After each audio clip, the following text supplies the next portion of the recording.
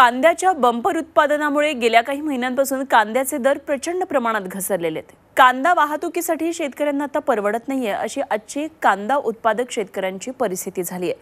आणि या पार्श्वभूमीवर सरकारनं कांद्याला पंधराशे रुपयांचा हमी भाव देऊन कांदा उत्पादकांना दिलासा द्यावा अशी मागणी शेतकऱ्यांनी केली आहे.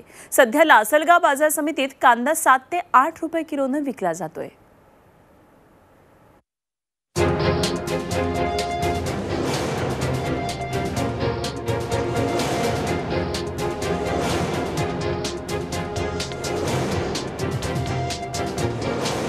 कांद्याला रास्त दर मिळत नसल्यामुळे कांदा उत्पादक शेतकरी पुरता हैराण झाला आहे.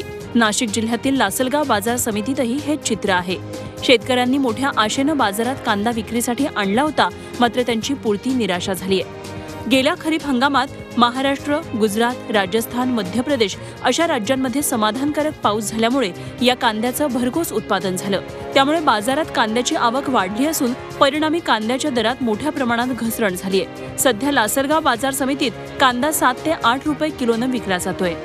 महाराष्ट्र गुजरात राजस्थान मध्य प्रदेश सारख्या राज्यांमध्ये पाऊस व्यवस्थित झाल्यामुळे उन्हाळ कांद्याचं पीक हे मोठ्या प्रमाणात आलेलं आहे आणि त्यामुळे बाजारभावामध्ये सात ते आठ रुपये किलो इतकी पर्यंत येऊन आणि थांबलेले आहेत.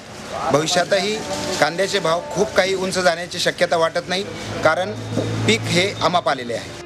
कांद्याचे दर कोसळल्यामुळे कांदा उत्पादक शेतकरी हवालदिल झाला आहे. या परिस्थितीतून मार्ग काढण्यासाठी राज्य सरकारनं कांदा उत्पादक शेतकऱ्यांना अनुदान द्यावं अशी मागणी आता शेतकऱ्यांकडून केली जात आहे.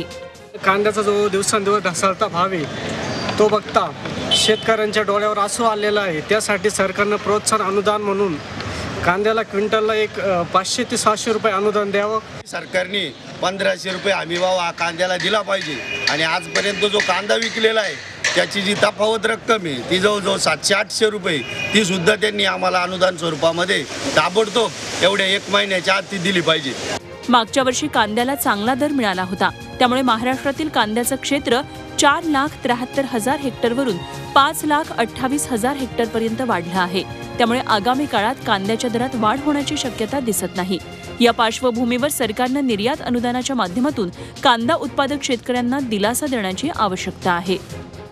मागच्या वर्षी सरकारने एम ई आय स्कीम खाली जसे एक्सपोर्टसाठी सबसिडी दिली होती त्याच पद्धतीने सबसिडी देऊन व्यापाऱ्यांना प्रोत्साहित केलं जास्तीत जास्त एक्सपोर्ट करायला. तर परत शे दोनशे रुपये भाव आणखी कांद्याचे वाढू शकतात.